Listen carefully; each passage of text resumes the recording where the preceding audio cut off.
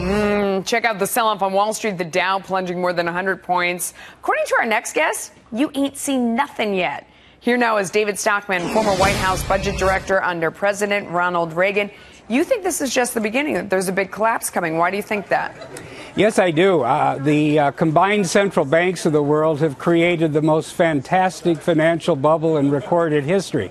Uh, when you look at 80 months of zero interest rates, and that's where we'll be, assuming they raise uh, the interest rate in September, and even that's uncertain you have generated the most massive uh, subsidy to speculation and the carry trades yeah. that's imaginable. That's what is so bad about ZIRP.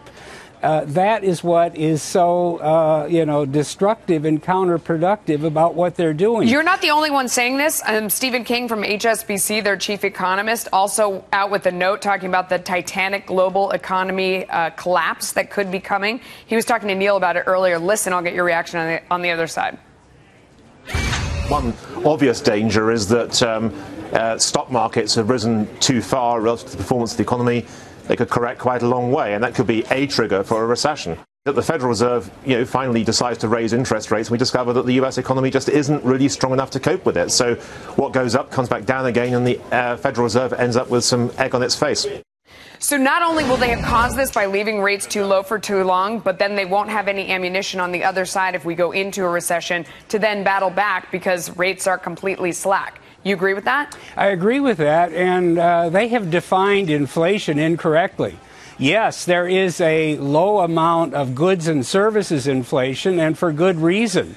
There has been so much massive overinvestment in the world economy for the last seven or eight years because of the central bank financial repression and ultra low interest rates and cost of capital that we have huge excess capacity in the world. So, of course, there isn't uh, consumer inflation. Instead, what we've had is massive, unrelenting financial asset inflation. Right. And uh, as a result of that, we have booby trapped the financial system of the world with all kinds of speculative mountains that can blow at any time. And One example, uh, you know, the trouble we had with subprime mortgages, there were only 1.4 trillion outstanding at the time the crisis began in March 2007. In the last three years, by contrast, we have issued in the U.S. alone three trillion of new junk bonds of uh, leveraged loans and CLOs. Meanwhile, All meanwhile, hang on. Christine Lagarde says she's not done yet. Listen to this. What we are seeing in the, the data, particularly on inflation, is that the pickup is very slow. And we believe that there is a, a good argument to actually defer until early 2016 any rate hike. There you go, David. Yeah. She's gonna she's gonna she's gonna double down on what yeah, you're exactly. Saying. I mean, she has no idea what she's talking about. Everywhere in the world, there's clear evidence that uh, there are financial bubbles in the junk bond market, in the real estate market, Equities. in the stock market, in biotech, in social media.